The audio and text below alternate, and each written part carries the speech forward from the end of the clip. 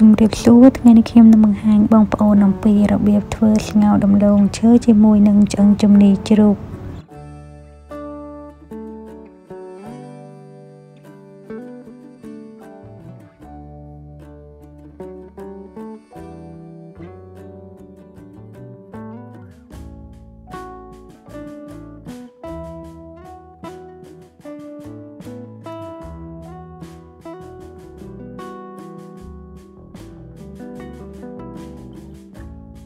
ដំឡូងដែលមានជាតិម្សៅច្រើននៅពេលដែលយកទៅស្លឬក៏ធ្វើបង្អែមគឺមានរសជាតិឆ្ងាញ់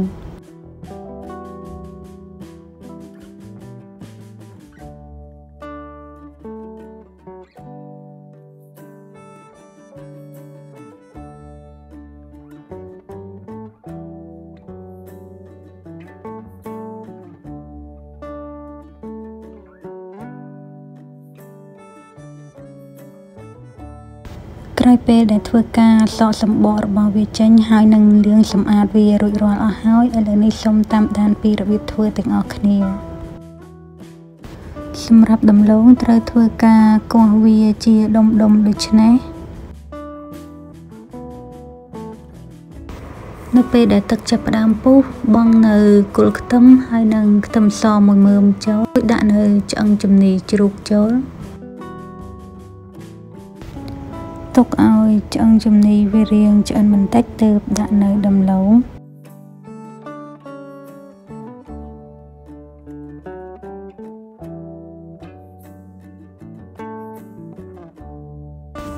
ដោយដាក់នៅគ្រឿងផ្សំដូចជាអំបិលហើយនិងម្សៅខ្នុរបន្តិចក្រោយពេលដែលបងនៅគ្រឿងផ្សំរួចរាល់អស់ហើយធ្វើការរំងាស់វាមួយសន្ទុះដើម្បីឲ្យដំឡូងវាឆ្អិនបានល្អ នៅពេលដែលឃើញមានពពុះអណ្ដែតនៅលើដូច្នេះត្រូវដួលវាចេញបន្តរំងាស់វារហូតទាល់តែដំឡូងនឹងវាផុយចូលជាតិគ្នាជាមួយនឹងទឹកសម្ល